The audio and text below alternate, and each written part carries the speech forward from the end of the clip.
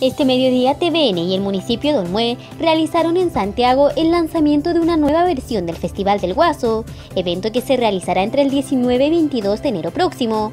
Durante la jornada de ayer, Soyquillota.cl anunció la presencia de Miriam Hernández y Los Ángeles Negros, lo que fue confirmado hoy por la organización. Pero no fueron los únicos, también se confirmó a Andrés de León, María Esther Zamora, Nicole y Villa Cariño. La animación estará a cargo de Leo Cabrile, quien volverá al Patagual tras cuatro años. Su última aparición en el escenario del MUE fue cuando el festival estaba en manos de televisión.